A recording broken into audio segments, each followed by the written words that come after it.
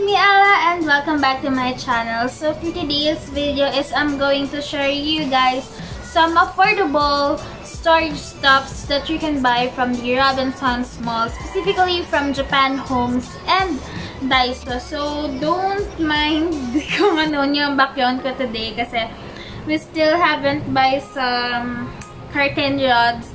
So yeah, hindi pa namin maikabit yung cortinang nabili ko and Ayun. Hindi ko na kailangan magpaliwanag. So, ayun. Simulan na natin.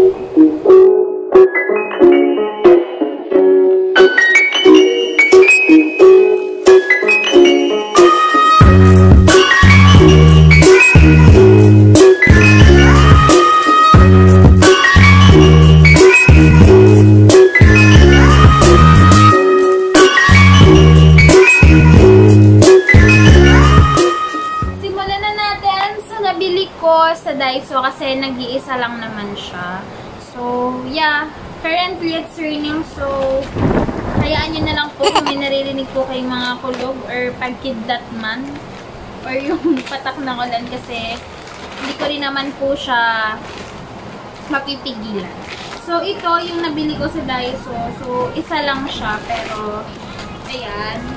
So, it's just an acrylic storage. So, pwede siyang lagyan mo ng kung ano-ano. Kasi, para kasi ang purpose ko dito is lalagyanan siya ng mga cosmetics or cotton buds talaga yun. So, kasi nagtitingin ako sa Shopee and ang mahal niya. So, these two acrylic containers only cost 88 pesos po sa Daiso. So, dalawa na siya. And, meron siyang divider. So, yun yung kinaganda niya. Meron siyang divider. And, Nagtingin din ako kanina sa, nung nagpunta kami sa Japan Homes, kung magkano. So, nakita ko is 66 pesos yung isa lang nito. Isang gantong may ano, tawag dun. May divider, unlike dito na dalawa na siya for 88 pesos. So, proceed na tayo sa aking favorite store which is ang Japan Home Center. So, eto siya. Ayan. Hindi ko pa na-aantay. Kasi, sobrang excited ako na i-share sa inyo yung aking mga nabili. Kasi, alam niyo yun, dapat kasi yung bibilhin ko is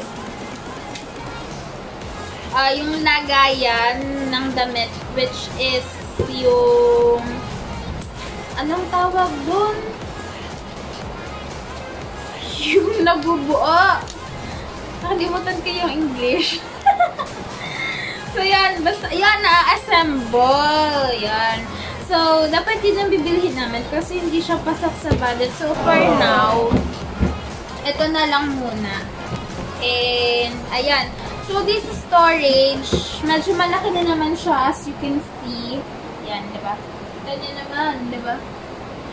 So, it only cost 288 pesos. So, pansamantagal ay dito ko po muna ilalagay yung aking mga clothes na medyo hindi ko naman nagagamit para hindi naman siya nakabalandra dito sa bahay.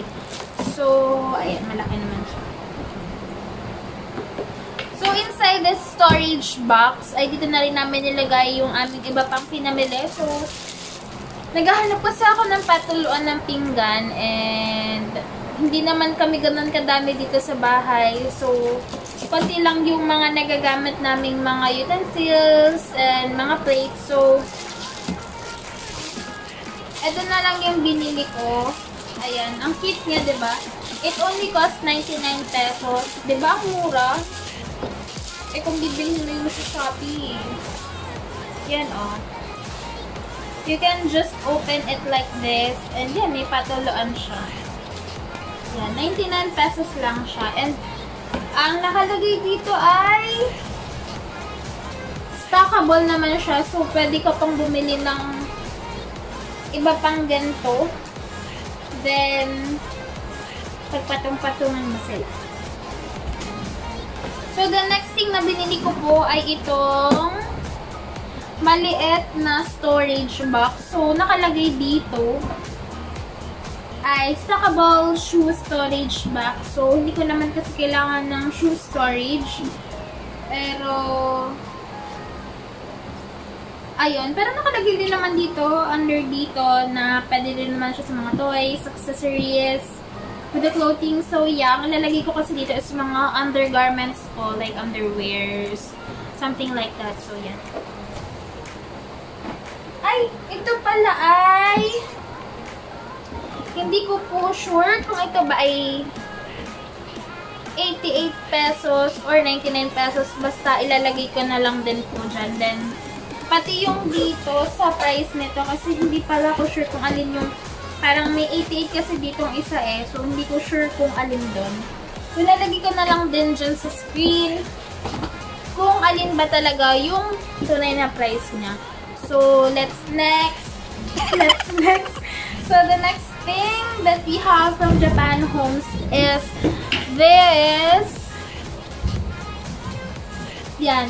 Fold and stack tote boxes. So, ayan. Gusto ko na siyang i-open kasi ang purpose namin dito ni Alds is lagayan siya ng mga eggs na nabibili namin. Or some foods. So, dito na lang namin siya ilalagay kasi mga beshi, wala pa kaming ref. so, we're just planning to buy some soon. And, so, ayan. Hindi ako maalam maggawa nito. So, paano ba to? Wala siya. Bakit ganun? Ano yung ilalim nito? Hindi ako maalam. Pero, hindi ko alam kung kulang ba siya or what. Ah! Gets ko na. So, ganito siya. Hindi ko alam kung paano siya i-assemble. Pero, try natin. Umutot, baka masira ko. So, ayan. I'm trying to fix this thing up. And hindi pa ako nakakapag-sign, pero inuna ko po ang mag mag-feel.